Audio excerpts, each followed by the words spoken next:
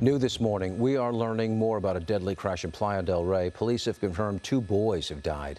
We don't know their exact ages. Uh, the two-car crash happened just before 8 last night near Dockweiler State Beach.